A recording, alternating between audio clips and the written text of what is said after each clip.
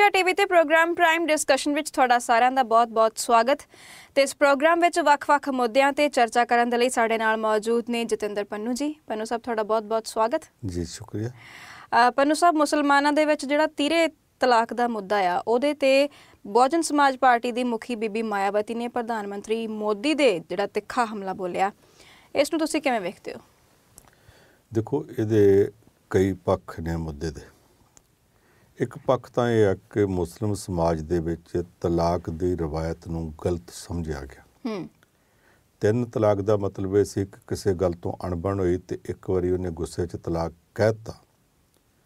ਕੁਝ ਦਿਨ ਸੋਚਣ ਦਾ ਵਕਤ ਮਿਲੇ ਫਿਰ ਉਹ ਜੇ ਤਲਾਕ ਕਹਿ ਦਿੰਦਾ ਤੇ ਕੁਝ ਦਿਨ ਹੋਰ ਵਕਤ ਦਿੱਤਾ ਜਾਵੇ ਤੇ ਫਿਰ ਜੇ ਨਹੀਂ ਮੰਨਦਾ ਤੀਜੀ ਵਾਰ ਤਲਾਕ ਕਵੇ ਤੇ ਉਹ ਤਲਾਕ ਮੰਨ ਲਿਆ ਜਾਵੇ। ਜੀ।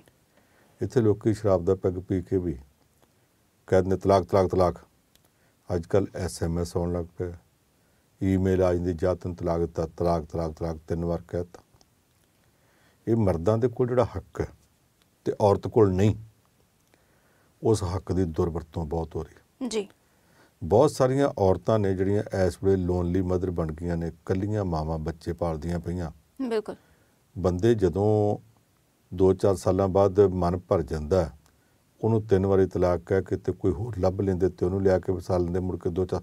ਇਹੋ ਜਿਹੇ ਕਈ ਲੋਕ ਜਿਨ੍ਹਾਂ ਨੇ ਕਈ ਕਈ ਸ਼ਾਦੀਆਂ ਕਰਾਈਆਂ। ਹੂੰ। ਪਰ ਥੋੜੇ ਨੇ। ਮੁਸਲਮ ਸਮਾਜ ਤੇ ਕਰੋੜਾਂ ਦਾ। ਭਾਰਤ ਵਿੱਚ ਜੇ ਇਸ ਵੇਲੇ 20 ਕਰੋੜ ਦੀ ਆਬਾਦੀ ਹੋਵੇ ਤੇ ਇਦਾਂ ਦਾ ਕੰਮ ਕਰਨ ਵਾਲੇ 1 ਕਰੋੜ ਵੀ ਨਹੀਂ ਸ਼ਾਇਦ 1 ਲੱਖ ਵੀ ਨਾ ਨਿਕਲਣ। ਹੋਣਗੇ 10 ਵੀ ਹਜ਼ਾਰ। ਹੂੰ। ਬਾਕੀ ਲੋਕਾਂ ਸਾਰਿਆਂ ਦੇ ਉੱਤੇ ਤੇ ਇਹ ਗੱਲ ਲਾਗੂ ਨਹੀਂ ਹੁੰਦੀ। ਚਾਰ ਵਿਆਹ ਕਰਾਉਣ ਵਾਲੀ ਰਵਾਇਤ ਵੀ ਸਾਰਿਆਂ ਵਿੱਚ ਨਹੀਂ। ਥੋੜਿਆਂ 'ਚ। ਖਾਂਦਿਆਂ ਪੀਂਦਿਆਂ 'ਚ ਜਾਂ ਫਿਰ ਵਿਗੜਿਆਂ 'ਚ ਹੋ ਸਕਦੀ, ਦੂਜਿਆਂ 'ਚ ਨਹੀਂ। ਇਹ ਮੁੱਦਾ ਗਿਆ ਅਦਾਲਤਾਂ ਵਿੱਚ ਕਿ ਸਾਡਾ ਕੀ ਕਸੂਰ ਆ, ਅਸੀਂ ਇਹਨਾਂ ਦੇ ਬੱਚੇ ਪੈਦਾ ਕਰਨ ਤੋਂ ਬਾਅਦ ਪਾਲਣ ਵਾਸਤੇ ਕੱਲੀਆਂ ਰਹਿ ਜਾਂਦੀਆਂ, ਸਾਡੇ ਵਾਸਤੇ ਖਰਚੇ ਦਾ ਵੀ ਕੋਈ ਹੱਕ ਨਹੀਂ, ਕੋਈ ਗੱਲ ਨਹੀਂ, ਬੰਦਾ ਜਦੋਂ ਮਰਜ਼ੀ ਤਲਾਕ ਤਲਾਕ ਕਰ। ਦੇ ਇੱਕ ਮੁੱਦਾ ਯੂਨੀਫਾਰਮ ਸਿਵਲ ਕੋਡ ਦਾ, ਕਿ ਜਿਹੜਾ ਸਿਵਲ ਕੋਡ ਸਮਾਜ ਨੂੰ ਚਲਾਉਣ ਵਾਸਤੇ, ਹਿੰਦੂਆਂ ਵਾਸਤੇ, ਸਿੱਖਾਂ ਵਾਸਤੇ ਜੈਨੀ ਬੋਧੀ ਵਾਸਤੇ ਉਸ ਉਸੇ ਤਰ੍ਹਾਂ ਦਾ ਮੁਸਲਮਾਨਾਂ ਤੇ ਲਾਗੂ ਕੀਤਾ ਜਾਵੇ। ਜੀ। ਮੁਸਲਮਾਨਾਂ ਦੇ ਧਰਮ ਗੁਰੂ ਇਹਦਾ ਵਿਰੋਧ ਕਰਦੇ ਆ। ਉਹ ਕਹਿੰਦੇ ਜੀ ਸਾਡਾ ਧਰਮ ਵੱਖਰਾ ਸਾਡੀ ਸ਼ਰ੍ਹਾ ਵੱਖਰੀ ਸਾਨੂੰ ਆਪਣੇ ਢੰਗ ਨਾਲ ਚੱਲਣ ਦਿਓ। ਅੱਜ ਦੇ ਯੁੱਗ ਦੇ ਵਿੱਚ ਸ਼ਰ੍ਹਾ ਦੀਆਂ ਅਦਾਲਤਾਂ ਨਹੀਂ ਚੱਲ ਸਕਦੀਆਂ। ਇਸ ਤਰ੍ਹਾਂ ਦੀਆਂ ਸ਼ਰ੍ਹਾ ਦੀਆਂ ਅਦਾਲਤਾਂ ਦਾ ਨੁਕਸਾਨ ਹੋ ਰਿਹਾ। ਸ਼ਰ੍ਹਾ ਦੀਆਂ ਅਦਾਲਤਾਂ ਕੁਝ ਮਾਮਲਿਆਂ 'ਚ ਲੋਕਲ ਲੈਵਲ ਤੇ ਫੈਸਲੇ ਕਰਨੇ ਕਰ ਲੈਣ। ਜੀ। ਪਰ ਤਲਾਕ ਦਾ ਕਿਸੇ ਦੀ ਜ਼ਿੰਦਗੀ ਦਾ ਫੈਸਲਾ ਕਰਨਾ ਉਹਨਾਂ ਦਾ ਹੱਕ ਨਹੀਂ ਹੋ ਸਕਦਾ। ਬਿਲਕੁਲ। ਉਹ ਕਹਿੰਦੇ ਜੀ ਸਾਡੇ ਆਪਣੇ ਨਿਯਮਾਂ ਮੁਤਾਬਕ ਸਾਨੂੰ ਚੱਲਣ ਦਿਓ। ਨਿਯਮਾਂ ਮੁਤਾਬਕ ਤਾਂ ਸਿੱਖ ਵੀ ਚੱਲਦੇ ਆ ਹਿੰਦੂ ਵੀ ਚੱਲਦੇ ਆ ਈਸਾਈ ਵੀ ਚੱਲਦੇ ਜੈਨੀ ਵੀ ਚੱਲਦੇ ਤੁਸੀਂ ਬੰਦਗੀ ਕਿੱਦਾਂ ਕਰਨੀ ਪੂਜਾ ਕਿੱਦਾਂ ਕਰਨੀ ਉੱਥੇ ਤੁਹਾਡੀ ਮਰਜ਼ੀ ਆ। ਪਰ ਜੇ ਸਮਾਜ ਦੇ ਵਿੱਚ ਇਹ ਸਮੱਸਿਆ ਖੜੀ ਹੋ ਜਾਵੇ ਕਿ ਬਹੁਤ ਸਾਰੀਆਂ ਔਰਤਾਂ ਬੱਚੇ ਲੈ ਕੇ ਤੁਰੀਆਂ ਫਿਰਨ ਮਦਦ ਕਰਨ ਵਾਲਾ ਕੋਈ ਨਹੀਂ ਸਮਾਜ ਦਖਲ ਦੇ ਸਕਦਾ। ਹੂੰ। ਪ੍ਰਧਾਨ ਮੰਤਰੀ ਨਰਿੰਦਰ ਮੋਦੀ ਦੀ ਪਾਰਟੀ ਨੇ ਉਹਦੀ ਸਰਕਾਰ ਨੇ ਦੋਵਾਂ ਨੇ ਸਟੈਂਡ ਲੈ ਲਿਆ ਸਰਕਾਰ ਨੇ ਐਫੀਡੇਵਿਟ ਦਿੱਤਾ ਕਿ ਇਹ ਤਿੰਨ ਤਲਾਕ ਵਾਲਾ ਮੁੱਦਾ ਗਲਤ ਹੈ। ਇਹਦੇ ਉੱਤੇ ਔਰਤਾਂ ਦੇ ਹੱਕ ਦੀ ਰਾਖੀ ਕੀਤੀ ਜਾਣੀ ਚਾਹੀਦੀ ਹੈ।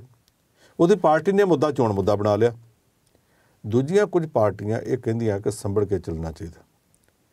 ਬੀਬੀ ਮਾਇਆਵਤੀ ਸਿੱਧੇ ਤੌਰ ਤੇ ਪ੍ਰਧਾਨ ਮੰਤਰੀ ਨੂੰ ਪੈ ਗਈ ਆ ਕਿ ਮੁਸਲਮਾਨ ਸਮਾਜ ਦਾ ਆਪਣਾ ਮਾਮਲਾ ਤੁਸੀਂ ਕੌਣ ਇਹ 'ਚ ਦਖਲ ਦੇਣ ਵਾਲੇ? ਹੂੰ। ਇਹ ਜੋ ਮਰਜ਼ੀ ਫੈਸਲਾ ਕਰਨ ਆਪਣੇ ਸਮਾਜ ਦੇ ਵਿੱਚ ਇਹਨਾਂ ਨੇ ਕੀ ਕਰਨਾ, ਇਹਨਾਂ 'ਚ ਪੜ੍ਹੇ ਲਿਖੇ ਮੁਸਲਮਾਨ ਵੀ ਹੈਗੇ ਪੜ੍ਹੀਆਂ ਲਿਖੀਆਂ ਔਰਤਾਂ ਵੀ ਮੁਸਲਮਾਨਾਂ 'ਚ ਹੈਗੀਆਂ ਨੇ। ਉਹ ਇਹਦੇ ਉੱਤੇ ਬਹਿਸ ਕਰਨ ਨੂੰ ਕਰਨ ਦਿਓ। ਤੁਸੀਂ ਇਹਦੇ 'ਚ ਸਰਕਾਰ ਵੱਲੋਂ ਪੱਖ ਰੱਖਣਾ ਰੱਖ ਦਿੱਤਾ। ਪਰ ਇਸ ਮੁੱਦੇ ਨੂੰ ਲੈ ਕੇ ਜਿਹੜੀ ਤੁਸੀਂ ਮੁਹਿੰਮ ਚਲਾ ਰਹੇ ਹੋ, ਉਸ ਮੁਹਿੰਮ ਦਾ ਮਤਲਬ ਇਹ ਹੈ ਕਿ ਤੁਸੀਂ ਸਮਾਜ 'ਚ ਵੰਡੀਆਂ ਪਾ ਕੇ ਵੋਟਾਂ ਭਾਲਦੇ ਆ ਔਰ ਵੋਟਾਂ ਦੀ ਖਾਤਰ ਇੱਥੋਂ ਤੱਕ ਤੁਸੀਂ ਪਹੁੰਚ ਗਏ ਕਿ ਸਮਾਜ ਪਾੜਨਾ ਚਾਹੁੰਦੇ ਹੁਣ ਇਹਦੇ 'ਚ ਫ਼ਰਕ ਕੀ ਪੈਂਦਾ? ਮਾਇਆਵਤੀ ਨੇ ਅਜੇ ਤੱਕ ਇਸ ਮੁੱਦੇ ਤੇ ਗੱਲ ਨਹੀਂ ਕੀਤੀ। ਹੁਣ ਕਰਤੀ ਹੈ। ਪ੍ਰਧਾਨ ਮੰਤਰੀ ਦੀ ਪਾਰਟੀ ਕਰਦੀ ਰਹੀ। ਪ੍ਰਧਾਨ ਮੰਤਰੀ ਚੁੱਪ ਸੀ। ਉਹ ਚੁੱਪ ਇਸ ਕਰਕੇ ਰਿਹਾ ਕਿਉਂਕਿ ਬਾਕੀ ਥਾਵਾਂ ਦੇ ਉੱਤੇ ਉਹ ਵਿਗਾੜ ਨਹੀਂ ਸੀ ਪਾਉਣਾ ਚਾਹੁੰਦਾ।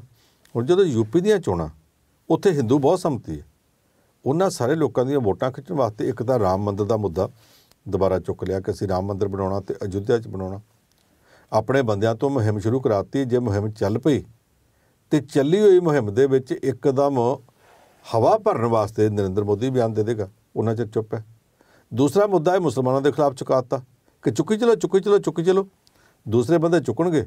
ਜਦੋਂ ਗੱਲ ਬਿਲਕੁਲ ਸਿਰੇ ਤੇ ਆ ਗਈ ਤੇ ਵੇਖਿਆ ਕਿ ਇਹਦਾ ਵਿਰੋਧ ਬਹੁਤਾ ਨਹੀਂ ਹੋਇਆ। ਹੁਣ ਪ੍ਰਧਾਨ ਮੰਤਰੀ ਨਰਿੰਦਰ ਮੋਦੀ ਨੇ ਵੀ ਇਹ ਮੁੱਦਾ ਨਾਲ ਚੁੱਕ ਲਿਆ ਕਿ ਤੀਰੇ ਤਲਾਕ ਦੇ ਸਵਾਲ ਦੇ ਉੱਤੇ ਔਰਤਾਂ ਨਾਲ ਬੇਇਨਸਾਫੀ ਹੁੰਦੀ ਹੈ। ਇਹ ਬੇਇਨਸਾਫੀ ਰੋਕਣੀ ਚਾਹੀਦੀ ਹੈ। ਹੁਣ ਤੱਕ ਬਿਲਕੁਲ ਨਹੀਂ ਬੋਲਦਾ। ਹੁਣ ਕਈ ਮਾਮਲੇ ਹੋਰ ਵੀ। ਹਾਜੀ ਅਲੀ ਦੀ ਦਰਗਾਹ ਹੈ ਮੁਸਲਮਾਨਾਂ ਦੀ ਦਰਗਾਹ। ਉੱਥੇ ਔਰਤਾਂ ਨੂੰ ਅੱਗੇ ਤੱਕ ਨਹੀਂ ਸੀ ਜਾਣ ਦਿੰਦੇ। ਸਾਰਿਆਂ ਨੇ ਆਖਿਆ ਜੀ ਉਹਨਾਂ ਦਾ ਹੱਕ ਬਣਦਾ। ਪਰ ਉਹਦੇ ਪਹਿਲਾਂ ਸ਼ਿੰਗਣਾਪੁਰ ਦਾ ਸ਼ਨੀ ਮੰਦਿਰ ਵੀ ਤੇ ਹੈਗਾ ਸੀ ਉੱਥੇ ਵੀ ਔਰਤਾਂ ਨੂੰ ਨਹੀਂ ਜਾਣ ਦਿੰਦੇ। ਜੀ। ਉਹਦੇ ਸਵਾਲ ਦੇ ਉੱਤੇ ਵੀ ਹੈ। ਉਦੋਂ ਤੱਕ ਬੀਜੇਪੀ ਨਹੀਂ ਸੀ ਬੋਲੀ ਜਦ ਤੱਕ ਜਿਹੜੀ ਇੱਕ ਬੀਬੀ ਜੀ ਨੇ ਭੂਮਾਤਾ ਬ੍ਰਿਗੇਡ ਬਣਾਇਆ ਤ੍ਰਿਪਤੀ ਦਸਾਈ ਉਹ ਮੁਹਿੰਮ ਚਲਾ ਕੇ ਤੁਰਨੀ ਪਈ ਕਿ ਅਸੀਂ ਮੰਦਰ 'ਚ ਵੜਨਾ। ਜਦੋਂ ਉਹਨੇ ਮੰਦਰ ਵਾਲੀ ਮੁਹਿੰਮ ਕਾਮਯਾਬ ਕਰ ਲਈ ਹਾਜੀ ਅਲੀ ਦਰਗਾਹ ਵੱਲ ਵੀ ਉਹ ਗਈ ਪ੍ਰਧਾਨ ਮੰਤਰੀ ਨਰਿੰਦਰ ਮੋਦੀ ਨਹੀਂ ਬੋਲਿਆ ਮਾਇਆਵਤੀ ਨਹੀਂ ਬੋਲੀ ਉਹਨਾਂ 'ਚ ਕੋਈ ਵੀ ਨਹੀਂ ਬੋਲਿਆ। ਇਸ ਵੇਲੇ ਮਾਮਲਾ ਹੁਣ ਸੁਪਰੀਮ ਕੋਰਟ 'ਚ ਸੁਪਰੀਮ ਕੋਰਟ ਨੇ ਅੱਗੇ ਇੱਕ ਵਾਰੀ 1986 ਚ ਦਖਲ ਦਿੱਤਾ ਸੀ ਸ਼ਾਹ ਬਾਨੋ ਕੇਸ ਵਿੱਚ। ਉਦੋਂ ਸ਼ਾਹ ਬਾਨੋ ਵਿਚਾਰੀ ਨੂੰ ਪਤੀ ਨੇ ਛੱਡਿਆ ਸੀ। ਉਹਦਾ ਕੇਸ ਆ ਗਿਆ। ਉਹਦੇ ਵਿੱਚ ਤਲਾਕ ਤੋਂ ਬਾਅਦ ਖਰਚੇ ਦਾ ਸਵਾਲ ਸੀ। ਸੁਪਰੀਮ ਕੋਰਟ ਨੇ ਇੱਕ ਫੈਸਲਾ ਦੇ ਦਿੱਤਾ। ਔਰਤ ਦੇ ਹੱਕ ਵਿੱਚ ਫੈਸਲਾ ਸੀ। ਰਾਜੀਵ ਗਾਂਧੀ ਦੀ ਸਰਕਾਰ ਸੀ ਉਹਨੇ ਸੋਚਿਆ ਮੁਸਲਮਾਨ ਨਾਰਾਜ਼ ਹੋ ਜਾਣਗੇ। ਉਹਨੇ ਸੁਪਰੀਮ ਕੋਰਟ ਦਾ ਫੈਸਲਾ ਪਾਰਲੀਮੈਂਟ ਦੇ ਵਿੱਚ ਰੈਜੂਲੇਸ਼ਨ ਪਾਸ ਕਰਕੇ ਪਲਟ ਦਿੱਤਾ। ਉਦੋਂ ਤੋਂ ਲੈ ਕੇ ਕਾਂਗਰਸ ਪਾਰਟੀ ਅਜੇ ਤੱਕ ਉਹਦਾ ਕੋਈ ਜਵਾਬ ਨਹੀਂ ਦੇ ਸਕੀ। ਜੀ। ਹੁਣ ਕਿਉਂਕਿ ਮਾਮਲਾ ਸੁਪਰੀਮ ਕੋਰਟ 'ਚ ਹੈ ਪ੍ਰਧਾਨ ਮੰਤਰੀ ਨਰਿੰਦਰ ਮੋਦੀ ਦੀ ਪਾਰਟੀ 'ਚ ਦਖਲ ਦੇਵੇ ਜਾਂ ਬੀਬੀ ਮਾਇਆਵਤੀ ਦੇਵੇ ਜਾਂ ਕੋਈ ਹੋਰ ਦੇਵੇ ਜਿਹੜਾ ਵੀ ਕੋਈ ਇਸ ਮਾਮਲੇ 'ਚ ਦਖਲ ਦਿੰਦਾ ਇਹ ਸਮਝਣਾ ਚਾਹੀਦਾ ਕਿ ਉਹ ਵੋਟਾਂ ਦੀ ਖਾਤਰ ਹੈ। ਨਾ ਵੋਟਾਂ ਦੇ ਮੁੱਦੇ ਤੋਂ ਨਰਿੰਦਰ ਮੋਦੀ ਪਾਸੇ ਆ ਤੇ ਨਾ ਮਾਇਆਵਤੀ ਪਾਸੇ ਜੀ। ਇੱਕ ਛੋਟਾ ਜਿਹਾ ਬ੍ਰੇਕ ਤੋਂ ਬਾਅਦ ਪ੍ਰੋਗਰਾਮ ਜਾਰੀ ਰਹੇਗਾ, ਜੁੜੇ ਰਹੋ ਪ੍ਰਾਈਮ ਏਸ਼ੀਆ ਟੀਵੀ ਦੇ ਨਾਲ।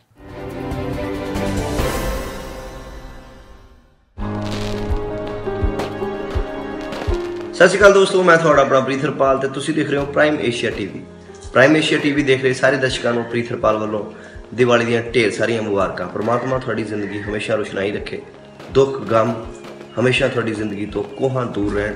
ਸੋ ਮੇਰੀ ਇਹੀ ਦੁਆ ਹੈ ਇੱਕ ਵਾਰੀ ਫੇਰ ਦੀਵਾਲੀ ਦੀਆਂ ਬਹੁਤ ਬਹੁਤ ਮੁਬਾਰਕਾਂ ਜੀ। ਥੈਂਕ ਯੂ ਵੈਰੀ ਮਚ ਸਤਿ ਸ਼੍ਰੀ ਅਕਾਲ।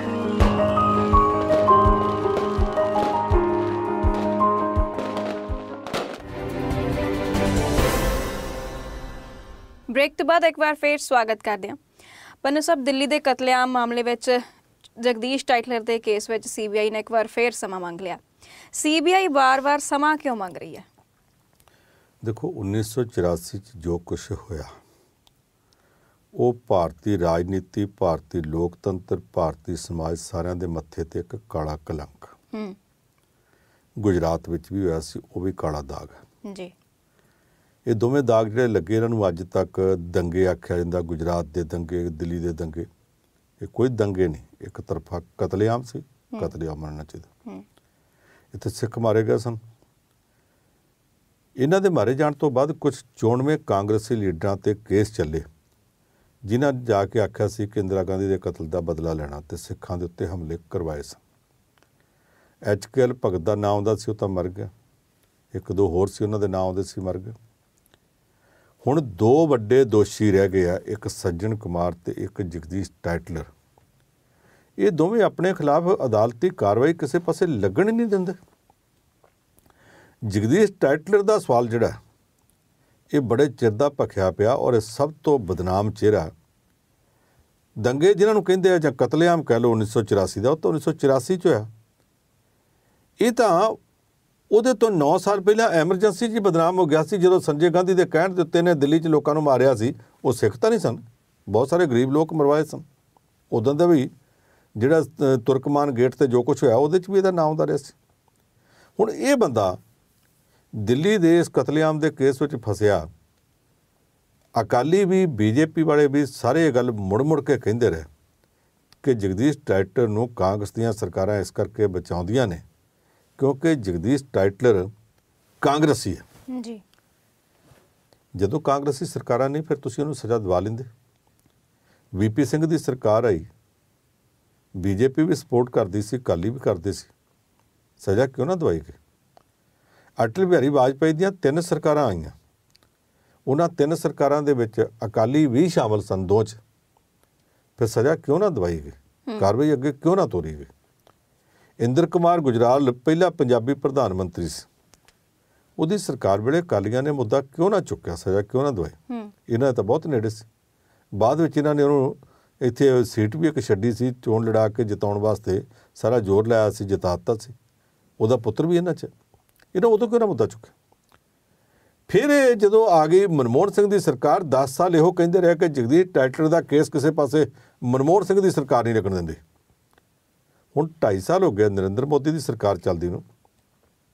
ਇਹਨਾਂ 2.5 ਸਾਲਾਂ 'ਚ ਕਿਹੜਾ ਇਹਨਾਂ ਨੇ ਕੱਦੂ 'ਚ ਤੀਰ ਮਾਰ ਦਿੱਤਾ? ਗੱਲ ਤਾਂ ਫਿਰ ਉੱਥੇ ਖੜੀ ਹੈ। ਕਮਾਲ ਦੀ ਗੱਲ ਇਹ ਹੈ ਕਿ ਸੀਬੀਆਈ ਦੇ ਕੋਲ ਜਾਂਚ ਹੈ। ਸੀਬੀਆਈ ਹਰ ਵਾਰੀ ਅਦਾਲਤ ਵਿੱਚ ਜਾ ਕੇ ਕਹਿੰਦੀ ਜਗਦੀਸ਼ ਟਾਈਟਰ ਦਾ ਕਸੂਰ ਕੋਈ ਨਹੀਂ ਨਿਕਲਦਾ। ਤੇ ਕਹਿੰਦੇ ਸੀ ਸੀਬੀਆਈ ਮਨਮੋਹਨ ਸਿੰਘ ਦੀ ਸਰਕਾਰ ਦੇ ਦਬਾਅ ਥੱਲੇ ਕਹਿੰਦੀ ਹੈ। ਜਦੋਂ ਨਰਿੰਦਰ ਮੋਦੀ ਦੀ ਸਰਕਾਰ ਆ ਗਈ ਤੇ ਇਹ ਸਰਕਾਰ ਦੇ ਵਿੱਚ ਬੀਬੀ ਹਰਸਿਮਰਤ ਕੌਰ ਬਾਦਲ ਵੀ ਅਕਾਲੀਆਂ ਦੀ ਬੈਠੀ ਹੋਵੇ ਤੇ ਇਹ ਸਰਕਾਰ ਦੇ ਢਾਈਆਂ ਸਾਲਾਂ 'ਚ ਤਿੰਨ ਵਾਰ ਸੀਬੀਆਈ ਜਾ ਕੇ ਰਿਪੋਰਟ ਦੇ ਦੇਵੇ ਕਿ ਜਗਦੀਸ਼ ਟਾਈਟਰ ਦਾ ਕਸੂਰ ਕੋਈ ਨਹੀਂ ਤੇ ਫਿਰ ਉਹਦਾ ਵੀ ਜਵਾਬ ਮੰਗਣਾ ਚਾਹੀਦਾ। ਕਸੂਰ ਕਿੱਥੋਂ ਨਿਕਲਦਾ? ਇੱਕ ਹਥਿਆਰਾਂ ਦਾ ਡੀਲਰ ਫੜਿਆ ਗਿਆ ਅਭਿਸ਼ੇਕ ਵਰਮਾ। ਹੂੰ। ਉਹ ਬਹੁਤ ਸਾਰੇ ਹਥਿਆਰਾਂ ਦੇ ਸੌਦਿਆਂ ਦੇ ਵਿੱਚ ਸ਼ਾਮਲ ਸੀ। ਉਹਦੀ ਪੁੱਛਗਿੱਛ ਹੋਈ। ਪੜਤਾਲ 'ਚ ਪਤਾ ਲੱਗਾ ਇੰਨੇ ਕਰੋੜ ਰੁਪਈਆ ਖਾਦਾ ਪੀਤਾ ਗਿਆ। ਉਹਨੇ ਆਪਣੇ ਬਿਆਨਾਂ 'ਚ ਇੱਕ ਬਿਆਨ ਇਹ ਦਿੱਤਾ ਕਿ ਇਹਦੇ ਚੋਂ 1 ਕਰੋੜ ਰੁਪਈਆ ਜਗਦੀਸ਼ ਟਾਈਟਲਰ ਨੇ ਕੈਨੇਡਾ 'ਚ ਘੱਲਿਆ। ਕਿਹਨੂੰ ਘੱਲਿਆ? ਜਿਹੜੇ ਕਤਲਾਂ ਦੇ ਕੇਸ ਇਹਦੇ ਤੇ ਆ ਉਹਨਾਂ ਕੇਸਾਂ ਦੇ ਵਿੱਚ ਇੱਕ ਬੰਦਾ ਗ੍ਰੰਥੀ ਸਿੰਘ ਸੀ ਉਹ ਗਵਾਹ ਸੀ।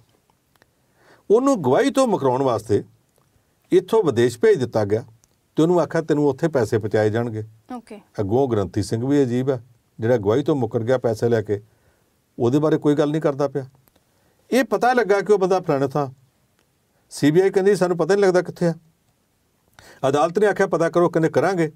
ਇੱਕ ਚਿੱਠੀ ਲਿਖਣੀ ਚਿੱਠੀ ਤੱਕ ਨਹੀਂ ਲਿਖ ਰਹੀ ਸੀਬੀਆਈ ਤੇ ਜੇ ਚਿੱਠੀ ਹੁਣ ਵੀ ਨਹੀਂ ਲਿਖ ਰਹੀ ਤੇ ਜਗਦੀਸ਼ ਟਾਈਟਰ ਦੇ ਖਿਲਾਫ ਕੇਸ ਅੱਗੇ ਨਹੀਂ ਤੋਰ ਰਹੀ ਤੇ ਜਿਹੜਾ ਪਿਛਲਾ ਪ੍ਰਚਾਰ ਸੀ ਕਿ ਕਾਂਗਰਸੀ ਸਰਕਾਰਾਂ ਨਹੀਂ ਹੋਣ ਦਿੰਦੀਆਂ ਹੁਣ ਕਿਉਂ ਨਹੀਂ ਹੋਣ ਦਿੰਦੇ? ਜੀ ਹੁਣ ਇਸ ਕਰਕੇ ਨਹੀਂ ਹੋਣ ਦਿੰਦੇ ਕਿਉਂਕਿ ਅਭਿਸ਼ੇਕ ਵਰਮਾ ਜਿਹੜਾ ਹਥਿਆਰਾਂ ਦਾ ਡੀਲਰ ਹੈ ਉਹਦੀਆਂ ਸਾਂਝਾਂ ਬੀਜੇਪੀ ਤੱਕ ਵੀ ਪਹੁੰਚਦੀਆਂ ਪਈਆਂ। ਉਹਦੇ ਨਾਲ ਦੇ ਕੁਝ ਬੰਦੇ ਜਿਹੜੇ ਇੱਧਰ ਵੀ ਸ਼ਾਮਲ ਹੁੰਦੇ ਪਏ ਨੇ। ਹੁਣ ਤਾਂ ਹਥਿਆਰਾਂ ਦੇ ਡੀਲਰਾਂ ਦੇ ਵਿੱਚ ਇੱਕ ਵਿਪਨ ਖੰਨੇ ਦਾ ਨਾਮ ਹੀ ਆ ਗਿਆ। ਤੇ ਵਿਪਨ ਖੰਨੇ ਦਾ ਪੁੱਤਰ ਕੈਪਟਨ ਅਮਰਿੰਦਰ ਸਿੰਘ ਦੇ ਵੀ ਨੇੜੇ ਹੈ। ਤੇ ਅਕਾਲੀ ਲੀਡਰਾਂ ਦੇ ਵੀ ਨਾਲ ਕਹਿੰਦੇ ਪੜਦਾ ਰਿਹਾ। ਇਹ ਇਸ ਤਰ੍ਹਾਂ ਦਾ ਤਮਾਸ਼ਾ ਜਿਹਦੇ ਚ ਜੇ ਪੰਜਾਬੀ ਮੁਹਾਵਰੇ ਚ ਆਖੀਏ ਤੇ ਕਹਿੰਦੇ ਹੁੰਦੇ ਨਾਨੀ ਦੋਤੀ ਰਲੀ ਪਈ ਹੈ। ਇਹ ਨਾਨੀ ਦੋਤੀ ਰਲੀ ਪਈ ਹੈ ਜਿਨ੍ਹਾਂ ਨੇ ਇਨਸਾਫ ਦੇ ਮਾਮਲੇ 'ਚ ਕਿਸੇ ਪਾਸੇ ਗੱਲ ਲੱਗਣ ਨਹੀਂ ਦਿੱਤੀ।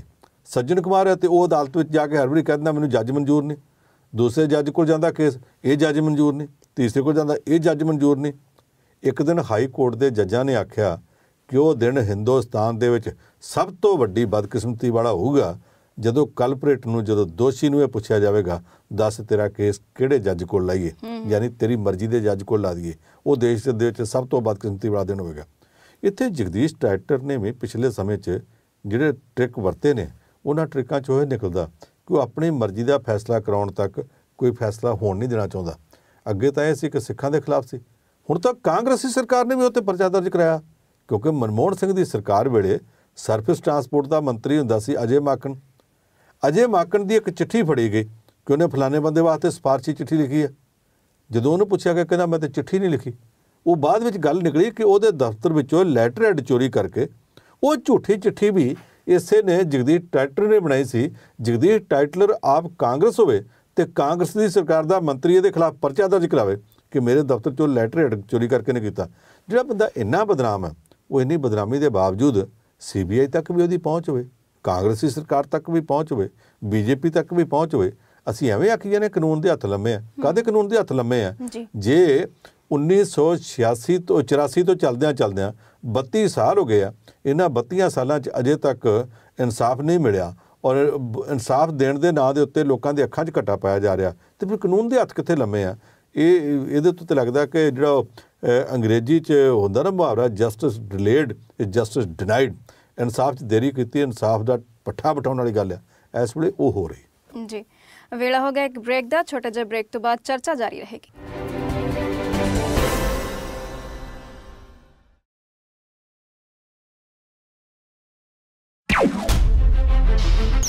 ਖਬਰਾਂ ਦੇ ਇਸ ਬੁਲੇਟਿਨ ਵਿੱਚ ਮੈਂ ਹਾਂ ਚਮਨ ਕੁਮਾਰ। ਅੱਜ ਦੇ ਪ੍ਰੋਗਰਾਮ ਮੁੱਦੇ ਗੱਡੇ ਰਹਿਣਗੇ ਵਿੱਚ।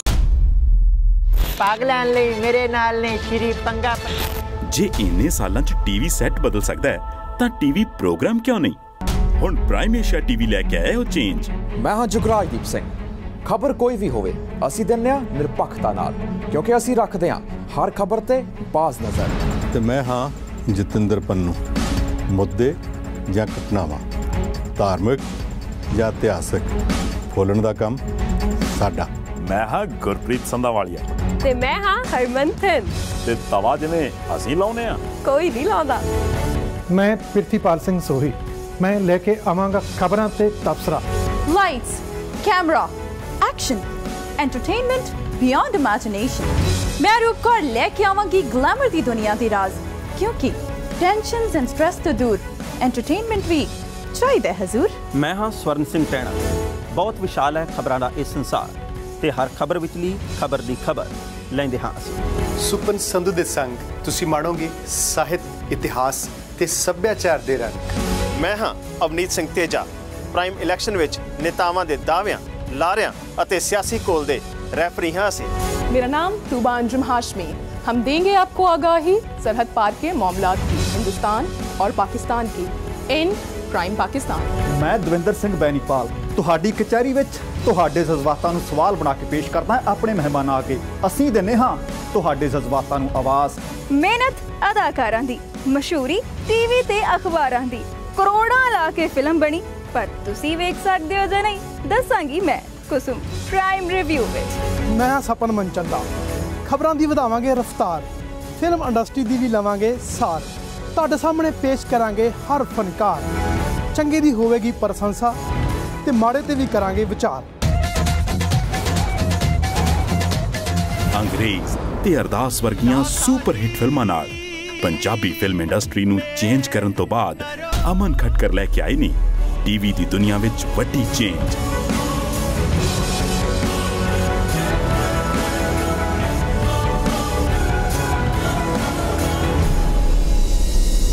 ਪ੍ਰਾਈਮ ਏਸ਼ੀਆ ਟੀਵੀ ਤੁਹਾਡੇ ਸਹਿਯੋਗ ਨਾਲ।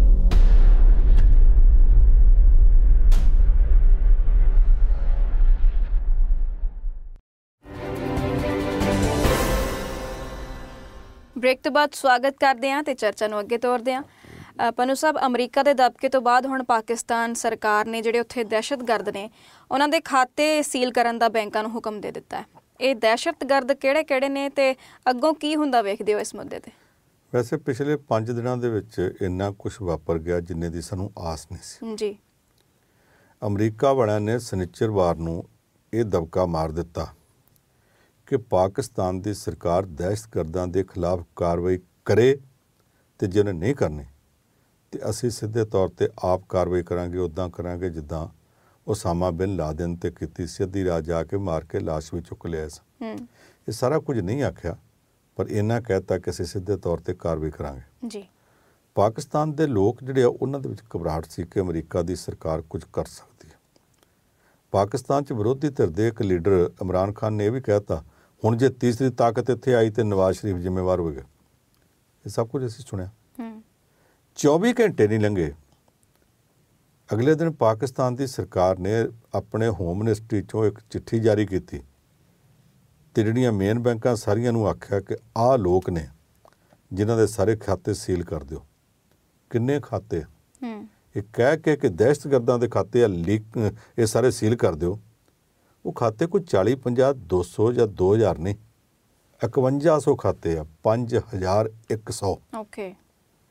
ਇਹਦਾ ਮਤਲਬ ਪਾਕਿਸਤਾਨ ਦੀ ਸਰਕਾਰ ਨੂੰ ਪਤਾ ਸੀ ਕਿ 5100 ਖਾਤੇ ਦਹਿਸ਼ਤਗਰਦਾਂ ਦੇ ਚੱਲਦੇ ਆ। 24 ਘੰਟਿਆਂ 'ਚ ਤੇ ਲਿਸਟ ਨਹੀਂ ਬਣਦੀ ਲਿਸਟ ਬਣੀ ਪਈ ਸੀ ਸਿਰਫ ਇੱਕ ਆਰਡਰ ਜਾਰੀ ਕਰਨਾ ਸੀ। ਇਹਦੇ ਵਿੱਚੋਂ ਵੀ ਜਿਹੜੀ ਗੱਲ ਦੇ ਉੱਤੇ ਪਾਕਿਸਤਾਨ ਦੀ ਸਰਕਾਰ ਦਾ ਜਲੂਸ ਨਿਕਲ ਗਿਆ ਉਹ ਇਹ ਹੈ ਕਿ ਇਹਨਾਂ 5100 ਖਾਤਿਆਂ 'ਚ ਇੱਕ ਖਾਤਾ ਮਸੂਦ ਅਜ਼ਰ ਦਾ। ਇਹ ਮਸੂਦ ਅਜ਼ਰ ਉਹ ਹੈ ਜਿਹਨੂੰ ਭਾਰਤ ਸਰਕਾਰ ਯੂਐਨਓ ਤੋਂ ਦਹਿਸ਼ਤਗਰਦ ਡਿਕਲੇਅਰ ਕਰਾਉਣਾ ਚਾਹੁੰਦੀ ਸੀ ਤੇ ਪਾਕਿਸਤਾਨ ਦੇ ਪ੍ਰਧਾਨ ਮੰਤਰੀ ਨੇ ਚੀਨ ਦੇ ਰਾਸ਼ਟਰਪਤੀ ਨੂੰ ਆਖਿਆ ਸਾਡੀ ਮਦਦ ਕਰ ਸਾਡਾ ਬੰਦਾ ਬਚਾ। ਤੇ ਚੀਨ ਵਾਲਿਆਂ ਨੇ ਜਾ ਕੇ ਯੂਐਨਓ ਚ ਆਖਿਆ ਸੀ ਉਹਨੂੰ ਅਜੇ ਤੱਕ ਟੈਰਰਿਸਟ ਡਿਕਲੇਅਰ ਨਹੀਂ ਕਰਨਾ ਅੱਤਵਾਦੀ ਡਿਕਲੇਅਰ ਨਹੀਂ ਕਰਨਾ। ਜਿਹਨੂੰ ਪਾਕਿਸਤਾਨ ਦੀ ਸਰਕਾਰ ਬਚਾਉਣ ਵਾਸਤੇ ਚੀਨ ਦੇ ਰਾਸ਼ਟਰਪਤੀ ਦਾ ਤਰਲਾ ਕਰਨ ਗਈ। ਹੁਣ ਖਾਤਾ ਉਹਦਾ ਮਸੂਦ ਅਜ਼ਹਰ ਦਾ ਵੀ ਸੀਲ ਕੀਤਾ ਗਿਆ ਤੇ ਇਹ ਕਹਿ ਕੇ ਸੀਲ ਕੀਤਾ ਗਿਆ ਕਿ ਇਹ ਦਹਿਸ਼ਤਗਰਦ ਹੈ। ਉਹਦੀ ਜਿਹੜੀ ਜਥੇਬੰਦੀ ਹੈ ਉਹਦਾ ਖਾਤਾ ਵੀ ਸੀਲ ਕੀਤਾ ਗਿਆ ਔਰ ਇਹ ਕਹਿ ਕੇ ਕੀਤਾ ਗਿਆ ਕਿ ਦਹਿਸ਼ਤਗਰਦ ਜਥੇਬੰਦੀ ਹੈ। ਜੀ। ਇਹ ਹੁਣ ਲਿਸਟ ਭਾਰਤ ਨੇ ਤਾਂ ਨਹੀਂ ਦਿੱਤੀ। ਹੂੰ। ਇਹ ਲਿਸਟਾਂ ਪਾਕਿਸਤਾਨ ਦੇ ਕੋਲ ਹੈ ਅਮਰੀਕਾ ਦੇ ਦਬਾਅ ਥੱਲੇ ਇਹਦੇ ਤੋਂ ਬਾਅਦ ਦੀ ਸਥਿਤੀ ਇਹ ਹੈ ਕਿ ਪਾਕਿਸਤਾਨ ਦੀ ਫੌਜ ਦਾ ਮੁਖੀ ਤੇ ਪਾਕਿਸਤਾਨ ਦਾ ਪ੍ਰਧਾਨ ਮੰਤਰੀ ਉਹ ਜਿਹੜਾ ਮੁਹਾਵਰਾ ਤੂੰ ਡਾਲ ਡਾਲ ਮੈਂ ਪਾਤ ਪਾਤ, ਇਸ ਤਰ੍ਹਾਂ ਦੋਵੇਂ ਜਣੇ ਚੱਲਦੇ ਪਏ, ਇੱਕ ਦੂਸਰੇ ਦਾ ਰਸਤਾ ਕੱਟਦੇ ਪਏ। ਫੌਜ ਦੇ ਮੁਖੀ ਜਨਰਲ ਰਹੀਲ ਸ਼ਰੀਫ ਦੇ ਕੋਲ ਚਾਰ ਰਸਤੇ ਨੇ। ਇਸ ਮਹੀਨੇ ਉਹਦੀ ਰਿਟਾਇਰਮੈਂਟ ਆ ਰਹੀ ਹੈ। ਪਹਿਲਾ ਰਸਤਾ, ਕਿ ਚੁੱਪ ਕਰਕੇ ਬਿਸਤਰਾ ਲਪੇਟੇ ਤੇ ਆਖੇ, ਜੀ ਰਿਟਾਇਰਮੈਂਟ ਪਾਰਟੀ ਦਿਓ, ਮੈਂ ਘਰ ਚੱਲਿਆ। ਦੂਸਰਾ ਰਸਤਾ, ਕਿ ਨਵਾਜ਼ ਸ਼ਰੀਫ ਦੇ ਕੋਲ ਨੀਵਾ ਹੋ ਕੇ ਉਹਦੇ ਜਾ ਕੇ ਉਹਦੇ ਗੋਡੇ ਫੜ ਲਵੇ ਤੇ ਆਖੇ ਕਿ ਮੈਨੂੰ ਹੁਣ ਮਿਹਰਬਾਨੀ ਕਰਕੇ 2 ਸਾਲ ਦੀ ਐਕਸਟੈਂਸ਼ਨ ਦੇ ਦਿਓ। ਇਹਨਾਂ ਨੀਵਾ ਹੋਣ ਨੂੰ ਉਹਦਾ ਦਿਲ ਨਹੀਂ ਕਰਦਾ। ਤੀਸਰਾ ਰਸਤਾ ਇਹ ਹੈ ਕਿ ਤਖਤਾ ਪਲਟ ਕਰਕੇ ਜਿਸ ਤਰ੍ਹਾਂ ਜਨਰਲ ਮੁਸ਼ਰਫ ਨੇ ਰਾਜ ਸੰਭਿਆ ਸੀ, ਇਹ ਵੀ ਸੰਭ ਲੇ। ਤੇ ਚੌਥਾ ਰਸਤਾ ਫਿਰ ਇਹ ਹੈ ਕਿ ਭਾਰਤ ਦੇ ਨਾਲ ਜੰਗ ਛੇੜ ਦੇਵੇ। ਜਦੋਂ ਜੰਗ ਚੱਲ ਪਵੇ, ਉਦੋਂ ਫੌਜਾਂ ਦੇ ਕਮਾਂਡਰ ਬਦਲੇ ਨਹੀਂ ਜਾਂਦੇ।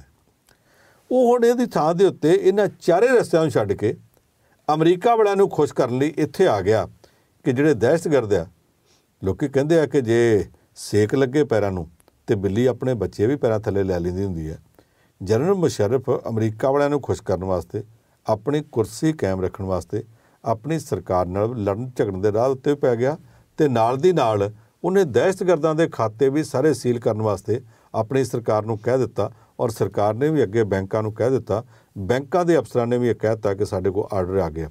ਫ਼ਰਕ ਇੱਕੋ ਗੱਲ ਦਾ ਪਿਆ। ਉਹ ਇਹ ਕਿ 24 ਘੰਟੇ ਪਹਿਲਾਂ ਉਹਨਾਂ ਨੂੰ ਸੂਚਨਾ ਮਿਲ ਗਈ ਦਹਿਸ਼ਤਗਰਦਾਂ ਨੂੰ। ਕੱਲ ਤੁਹਾਡੇ ਖਾਤੇ ਸੀਲ ਹੋਣੇ ਆ ਉਹਨਾਂ ਚੋਂ ਬਹੁਤਿਆਂ ਨੇ ਆਪਣਾ ਪੈਸਾ ਕਢਾ ਲਿਆ ਜਿਨ੍ਹਾਂ ਦਾ ਥੋੜਾ ਬਹੁਤ ਰਹਿ ਗਿਆ ਸੀ ਉਹ ਜ਼ਬਤ ਹੋਇਆ ਬਹੁਤਾ ਹਿੱਸਾ ਨਿਕਲ ਚੁੱਕਾ। ਜੀ।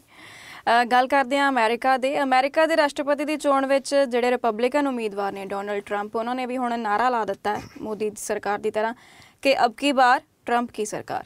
ਇਹਦੇ ਨਾਲ ਕੀ ਫ਼ਰਕ ਪਏਗਾ? ਅਮਰੀਕਾ ਵਿੱਚ ਭਾਰਤੀਆਂ ਦੀ ਬਹੁਤ ਵੱਡੀ ਗਿਣਤੀ ਹੈ ਲੱਖਾਂ ਚ ਨੇ। ਜੀ। ਵੋਟਰ ਨੇ। ਵੋਟਾਂ ਪਾਉਣਗੇ। ਸਾਡੇ ਉੱਥੇ ਦੋ ਗਵਰਨਰ ਵੀ ਰਹਿ ਚੁੱਕੇ ਇੱਕ ਤੇ ਉਹ ਕੁੜੀ ਆ ਨਿੱਕੀ ਹੈਲੇ। ਹੂੰ। ਤੇ ਦੂਸਰਾ ਬੌਬੀ ਜਿੰਦਲ ਹੈ ਹੂੰ।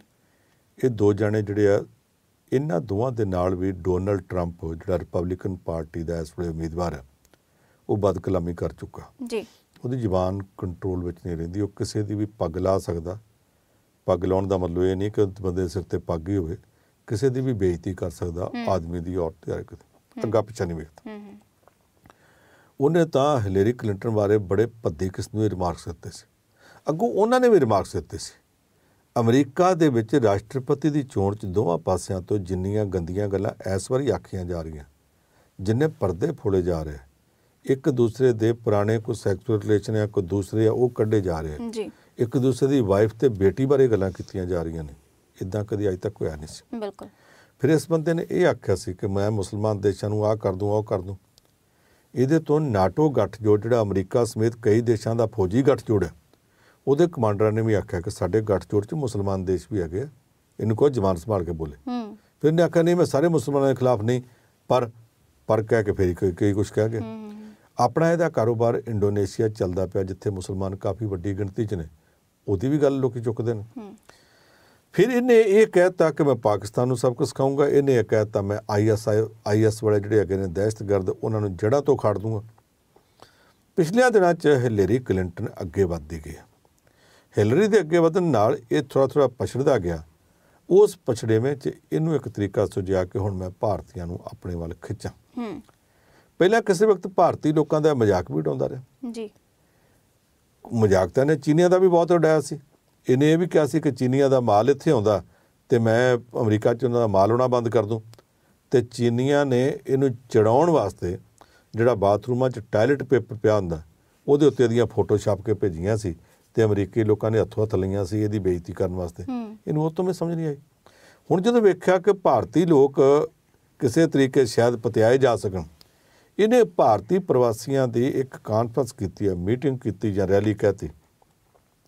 ਉੱਥੇ ਜਾ ਕੇ ਇਹ ਸਮਝ ਕੇ ਕਿ ਭਾਰਤ ਦਾ ਪ੍ਰਧਾਨ ਮੰਤਰੀ ਨਰਿੰਦਰ ਮੋਦੀ ਇਸ ਵੇਲੇ ਬੜਾ ਪ੍ਰਵਾਨ ਹੈ ਤੇ ਜਿੱਥੇ ਜਾਂਦਾ ਲੋਕੀ ਮੋਦੀ ਮੋਦੀ ਹਰ ਹਰ ਮੋਦੀ ਕਰੀ ਜਾਂਦੇ ਆ। ਜੀ। ਉਹਦਾ ਫਾਇਦਾ ਲੈਣ ਵਾਸਤੇ ਉਹਨੇ ਜਾ ਕੇ ਆਪਣੀ ਟੁੱਟੀ ਫੁੱਟੀ ਬੋਲੀ ਚ ਆਖਿਆ ਅਬ ਕੀ ਬਾਰ ਟਰੰਪ ਸਰਕਾਰ? ਕਿਉਂਕਿ ਨਰਿੰਦਰ ਮੋਦੀ ਕਹਿੰਦਾ ਸੀ ਉਹ ਨਹੀਂ ਸੀ ਕਹਿੰਦਾ ਉਹਦੀ ਪਾਰਟੀ ਉਹਦੇ ਕੰਪੇਨਰ ਕਹਿੰਦੇ ਸੀ ਅਬ ਕੀ ਬਾਰ ਮੋਦੀ ਸਰਕਾਰ? ਇਹਨੇ ਅਬ ਕੀ ਬਾਰ ਟਰੰਪ ਸਰਕਾਰ ਆਖਿਆ। ਪਰ ਟਰੰਪ ਸਰਕਾਰ ਆਖਣ ਨਾਲ ਕੋਈ ਟਰੰਪ ਕਾਰਡ ਨਹੀਂ ਉਹਨੇ ਚੱਲ ਰਿਹਾ। ਉੱਥੋਂ ਦੇ ਲੋਕਾਂ ਵਿੱਚ ਇਹਦਾ ਜਿਸ ਤਰ੍ਹਾਂ ਦਾ ਪ੍ਰਭਾਵ ਬਣ ਚੁੱਕਾ ਲੋਕੀ ਇਹ ਸਮਝਦੇ ਆ ਕਿ ਬੰਦਾ ਅੱਜ ਕੁਝ ਭਲਕੇ ਕੁਝ ਲਿਓ ਲੱਥਾ ਹੈਗਾ। ਇਹਦਾ ਆਪਣੇ ਆਪ ਦੇ ਉੱਤੇ ਕੰਟਰੋਲ ਕੋਈ ਨਹੀਂ ਜ਼ਬਾਨ ਤੇ ਕੰਟਰੋਲ ਕੋਈ ਨਹੀਂ। ਕੱਲ ਨੂੰ ਪਤਾ ਨਹੀਂ ਜੇ ਜਿੱਤ ਜਾਵੇ ਤੇ ਦੇਸ਼ ਨੂੰ ਕਿਹੜੇ ਪਾਸੇ ਨੂੰ ਲਿਆ ਤੁਰੇਗਾ ਕੋਈ ਹੋਰ ਪੌੜਾ ਨਾ ਪਾ ਦਿੰਦਾ ਹੋਵੇ। ਹੁਣ ਤੱਕ ਦੀਆਂ ਰਿਪੋਰਟਾਂ ਇਹ ਆ ਕਿ ਸਾਰੇ ਹੀਲੇ ਕਰਨ ਦੇ ਬਾਵਜੂਦ ਇਹ ਪਛੜ ਰਿਹਾ। ਪਰ ਚੋਣਾਂ ਚੋਣਾਂ ਹੁੰਦੀਆਂ ਕਈ ਵਾਰੀ ਅਖੀਰਲੇ ਦਿਨ ਜਾ ਕੇ ਅਚਾਨਕ ਕੋਈ ਇਹੋ ਜਿਹੀ ਘਟਨਾ ਵਾਪਰ ਜਾਂਦੀ ਹੈ ਜਿਹੜੀ ਦੂਸਰੇ ਪਾਸੇ ਦਾ ਅਸਰ ਪਾ ਦਿੰਦੀ ਹੁੰਦੀ ਜੀ। ਅਜੇ ਤੱਕ ਤੇ ਇਹ ਆ ਵੀ ਪਛੜਦਾ ਪਰ ਕੱਲ ਬਾਰੇ ਕੌਣ ਜਾਣਦਾ ਦਿਨ ਹੁਣ ਥੋੜੇ ਹੀ ਚੋਣਾਂ 'ਚ ਰਹਿ ਗਏ। ਜੀ ਇਸ ਦੇ ਨਾਲ ਹੀ ਚਰਚਾ ਦੇ ਲਈ ਤੁਹਾਡਾ ਬਹੁਤ-ਬਹੁਤ ਧੰਨਵਾਦ ਪਨੂ ਸਾਹਿਬ। ਸਮਾਂ ਹੁਣ ਹੋਰ ਇਜਾਜ਼ਤ ਨਹੀਂ ਦਿੰਦਾ ਤੇ ਕੁਝ ਹੋਰ ਮੁੱਦਿਆਂ ਦੇ ਨਾਲ ਆਪਾਂ ਫਿਰ ਮਿਲਾਂਗੇ। ਦਿਓ ਇਜਾਜ਼ਤ ਸ਼ੁਕਰੀਆ।